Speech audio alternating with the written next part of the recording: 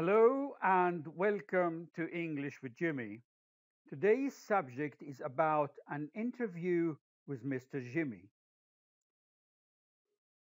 First question Mr. Jimmy, what questions do you ask an applicant who is applying to work with you as an English teacher?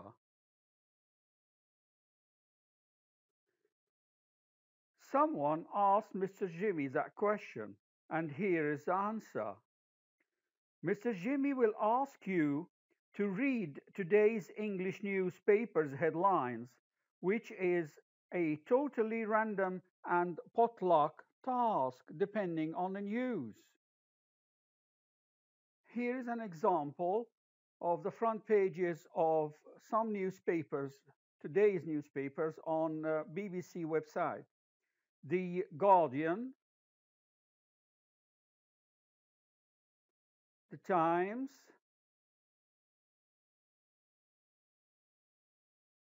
The Mirror,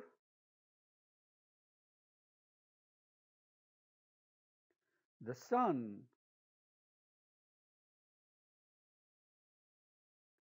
I newspaper, The Daily Star,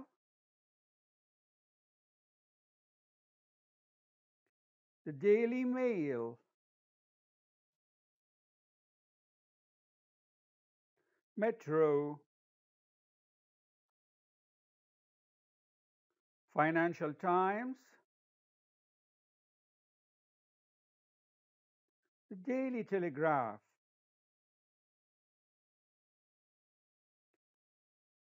Daily Express,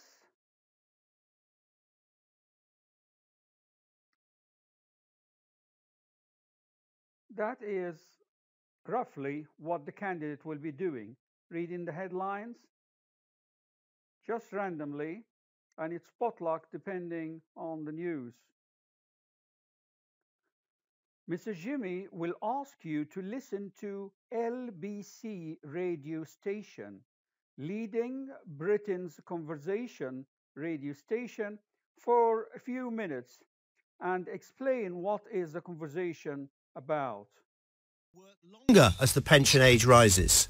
Well, more older people are working for longer in life after the recent rise in the state pension age. It comes down to how well off you've been throughout your working life. Older people are much more likely to carry on working in poorer parts of the country. In richer regions, more people are retiring before they hit the state pension age anyway because they can afford to do so. The Institute for Fiscal Studies says around 55,000 more 65-year-olds are now in paid work last year compared with before. Thank you, Declan. As always, you're listening to LBC News. The time is 24 minutes to 5. LBC News. Weather.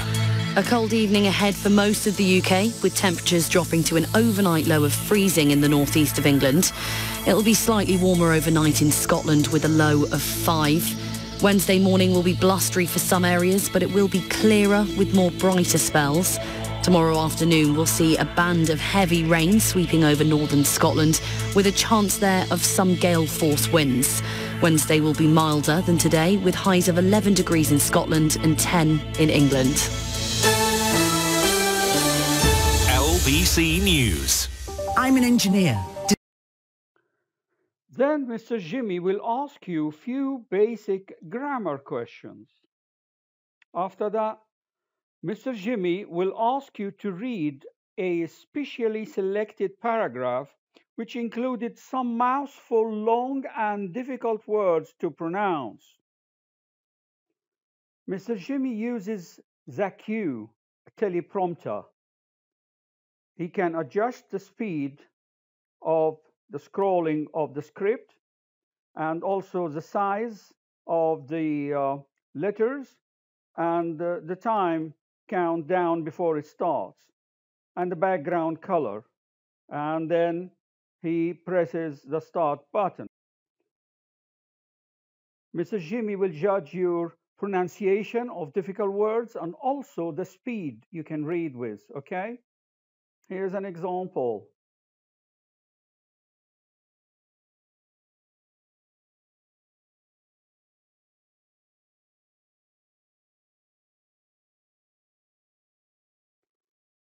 An interview with Mr. Jimmy. First question. Mr. Jimmy, what questions do you ask an applicant who is applying to work with you as an English teacher?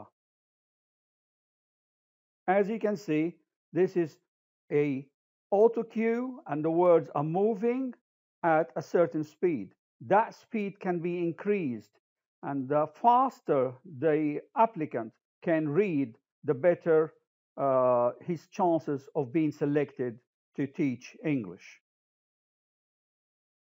Second question, Mr. Jimmy, what is the initial selection process for a suitable candidate for an interview?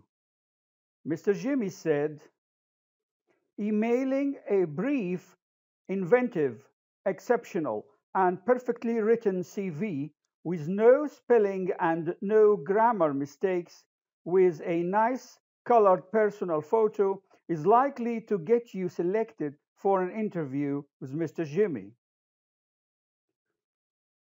Third question What happens during the interview? Be warned, Mr. Jimmy is a stickler for details, so arrive promptly on the specified time. Dress formal and bring with you hard copies of your ID, certificates, credentials, and letters of recommendations. Mr. Jimmy judges the candidate by his or her appearance, smell, combed hair, clean fingernails, formal dress, and polished shoes. Mr. Jimmy judges a candidate by his or her handshake, greeting, voice tone, and choice of words. Mr. Jimmy likes to see the candidate sitting up straight with hands in lap and eyes front. Mr. Jimmy likes the candidate who switches off his mobile phone before the interview. Mr. Jimmy does not like the candidate who chews gum during the interview. Mr. Jimmy does not like the candidate who has tattoos. Mr. Jimmy does not like shy candidate or the candidate who stares a lot. Mr. Jimmy prefers a candidate who has normal eye contact. Mr. Jimmy notices if the candidate is sitting still or fidgeting. When Mr. Jimmy asks you to talk about yourself, say your name, age, city of residence, last qualifications, and current job. That's it and no more, okay? Because Mr. Jimmy is probably tired after interviewing many other candidates and is not interested in your life story. During the interview, never say you are unemployed. Say you are attending a course or working as a trainee or a volunteer for a charity organization. Never say I am not working because that means you are a bum and lazy. When Mr. Jimmy asks you a yes or no question, answer yes or no. When Mr. Jimmy asks you to elaborate and explain a certain point, speak for a minute or two. Do not be abrupt and just say yes or no. And also do not talk too much. Talk for three minutes maximum. Tell Mr. Jimmy that you are interested in the school or the company and know a bit about its history from relatives or friends or the internet. When Mr. Jimmy asks you about your weaknesses, never say your weaknesses. Say, I am willing to learn in order to overcome any shortcomings I might have. At the end of the interview, if Mr. Jimmy asks you, Do you have any questions for me? Answer yes and ask Mr. Jimmy the following questions and in precisely the following order. Say to Mr. Jimmy, if I am lucky enough to get the job, I would like to know the following. Will there be continuous training courses to improve my skills? What are the working days? What are the working hours? Does the job require working overtime? What are the career prospects for promotion? Is there parking space if you have a car? Is there subsidized catering or canteen? Is there any health insurance? Is there any life insurance? What are the pensions arrangements? Is it a company pension or a private pension or a government pension? What time are the tea break and the lunch break and for how long? And the final question, what is the salary?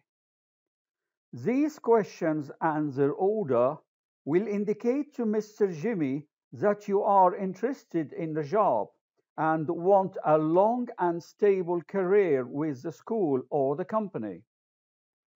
That is what it takes to get the job. Now, do you still think you can hack it and got what it takes to work with Mr. Jimmy as an English teacher? There is an idiom that says, if you pay peanuts, you get monkeys. And there is another idiom that says, beggars can be choosers. In your opinion, which idiom will get you a job? I thank you, Jimmy.